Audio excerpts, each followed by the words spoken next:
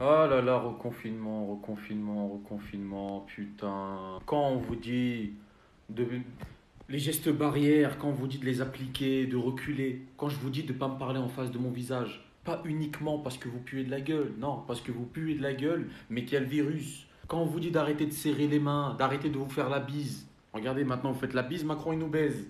Non mais excusez-moi d'être vulgaire, mais c'est bien fait. Vous écoutez pas. Voilà, maintenant c'est reparti pour un mois de confinement. Maintenant tout le monde va jouer à plateau, regarder Netflix. J'ai déjà tout regardé dans Netflix.